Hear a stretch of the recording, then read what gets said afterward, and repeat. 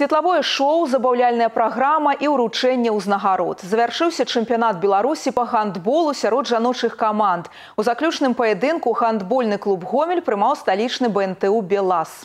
Матч не меў турнірнага значэння, але ад гэтага яго прынцыповасць не станавілася меншай. З падрабязнасцямі Максім Савін.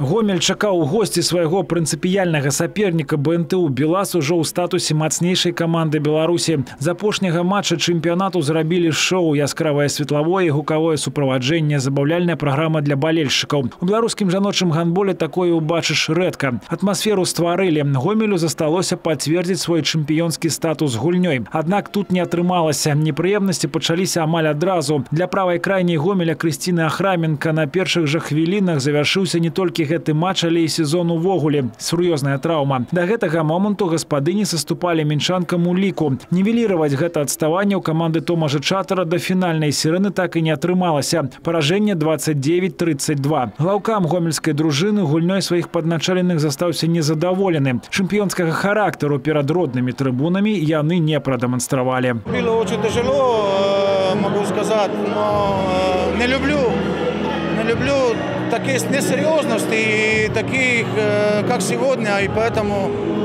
я им сказал, сегодня должно подтвердить чемпионство и не испортить праздник людям, которые пришли и сам себе. Ну, не знаю, мне спорт, чем праздник просто. Я не могу прославить чемпионство.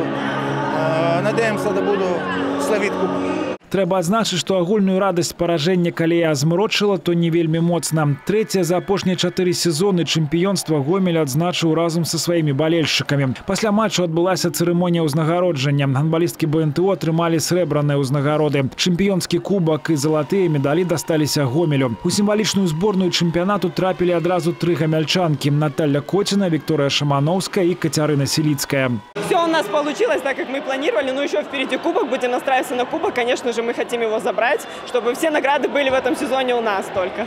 На гэтым супрацьстаянне паміж двума непрыміральнымі сапернікамі БНТУ і гомелем не завяршаецца. 22 і 23 мая ў нашым абласным цэнтры пройдзе фінал чатырох кубка краіны. У галоўным матчы хутчэй за ўсё сустрэнуцца менавіта гэтыя каманды. Амячанкі абяцаюць, што больш не да настрою не будзе і трафей застанецца ў гомеле. Максім Савін, Александр Харлампаў, тэлерадыёкампанія Гомель.